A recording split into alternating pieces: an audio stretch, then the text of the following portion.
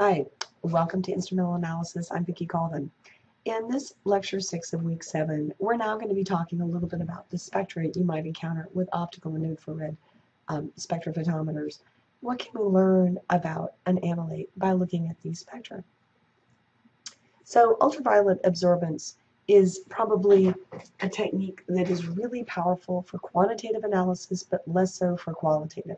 Still, you can learn a little bit about a molecule by knowing where it's absorbing in the ultraviolet invisible part of the spectrum. So in this table here, what you see is kind of a list from Agilent of a couple of, of really common compounds and where they might typically have their lambda max value. So you'll notice something like acetone has a maximum at 271 nanometers, but something like acetylene, a triple bond, at 173. So clearly you can kind of have a range of maximum ultraviolet absorbances depending on the organic functionalities that are present in a molecule. What I will point out is that the only molecular functional groups that are likely to give rise to a strong absorption between 200 and 800 nanometers are pretty much going to be pi to pi star transitions or heteroatom functionalities. These are called chromophores. They're pieces of molecules because that piece contributes to the electronic structure that you're detecting with the optical spectroscopy. So I don't have a lot of time to get into molecular orbital theory. So if this is way over your head or you've never seen this notation, don't worry too much. You don't really need to know it.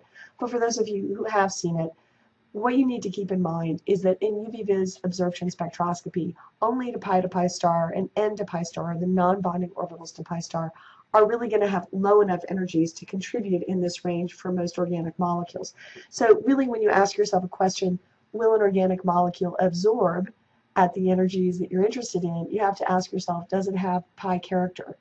Um, because that's really going to be one of the most important questions in determining whether ultraviolet visible spectroscopy would see any absorption. So a lot of these other transitions, sigma to sigma star, for example, might occur, but their frequencies would be far larger, so they would be more to the ultraviolet beyond the reach of a conventional UV-Vis spectrometer. So keep in mind that that's really your focus going to be N to pi star and pi to pi star transitions for most smaller organic molecules that don't contain metals. So here's a typical spectrum you might see. And I just want to point out that the pi to pi star transitions are usually going to have the larger molar absorptivities. Absorptivity kind of scales with the electron density in the orbitals and how much that's changing. So pi to pi star will have a higher epsilon or molar absorptivity than, for example, an N to pi star. This is kind of a cool example because I think it illustrates another point. If you do have pi to pi star transitions, either in a double bond or in an aromatic system, what you can see in these two examples is as you add components to the system, for example, in this aromatic case, as you delocalize the pi orbitals over a larger and larger area, you get a red shift in your absorption peaks. Your actual samples start to take on a color that's detectable to your eye.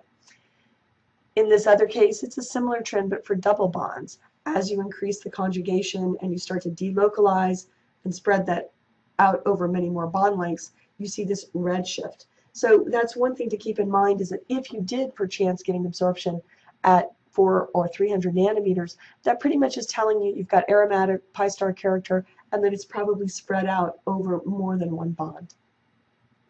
Let's move to infrared.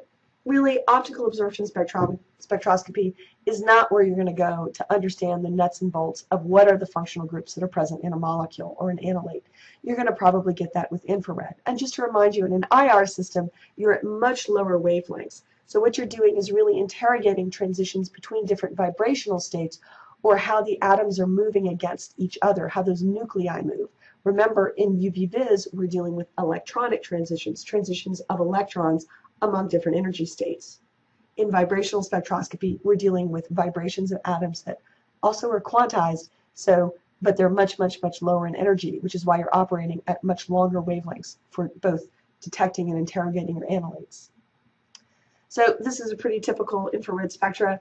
And one, one of the neat things about it, besides the fact that, of course, it's inverted because you always report transmittance, is we usually call these troughs.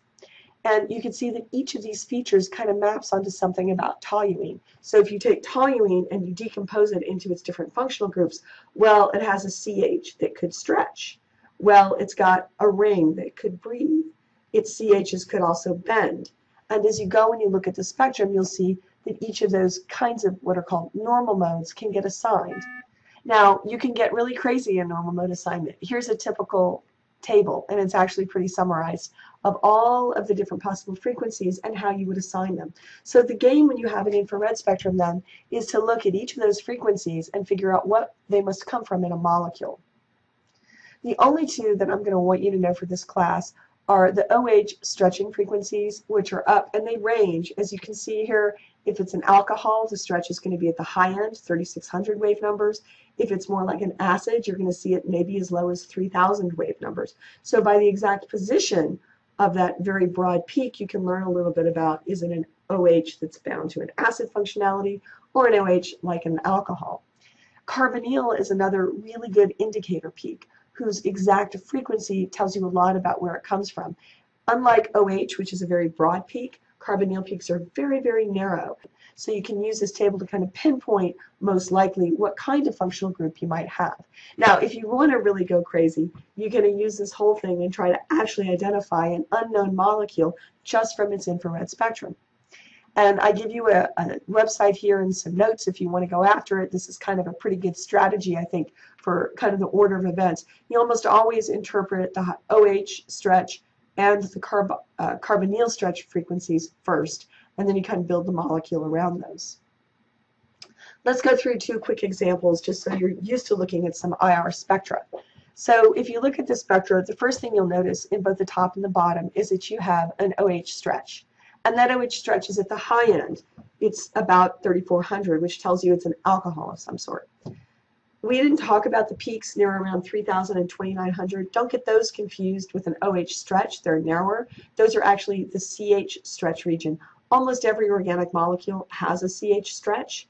So those aren't really that informative, but just note that they're there. Now, if you go down to the end, you see lots of other peaks. And it, like I said, if this was a molecular uh, organic spectroscopy class, you would be analyzing these in great detail. But just to keep in mind, these are fingerprint regions. And in an analytical system, you'd probably be taking your spectrum and asking the computer to compare it against a library and trying to see does it match a known spectrum because there are libraries of thousands and thousands and probably millions of molecules and the computing powers have gotten good enough that you can do pattern recognition. So if you have a pretty pure material, that's a very good way of identifying what your substance is. If you're impure and you're overlaying peaks, then that's a much more difficult analysis. So infrared for qualitative identification requires a fairly pure sample. So what are these? Well, the top one is propanol and the bottom one is actually just an isomer of propanol. And you can see down in this fingerprint regime near thousand a different pattern of peaks. And so that fingerprint regime is exactly what a computer would look at to try to match up the spectrum and actually make an assignment to one molecule or another. What the human brain can do though is say, you know, in both of these cases I'm pretty sure I have some sort of alcohol. Let's do a little bit more known practice. You're going to have to know OH bonds and you're going to have to know carbonyls. So let's take a look at these two examples.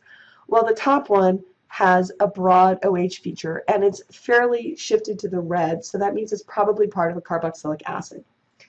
And it's also got a C double bond O, which is also part of an organic acid. So you're pretty sure this is an organic acid. The bottom one, though, looks different. I want you to tell me what's missing in the bottom one that's present in the top one. You still got your carbonyl peak, but you do not have OH.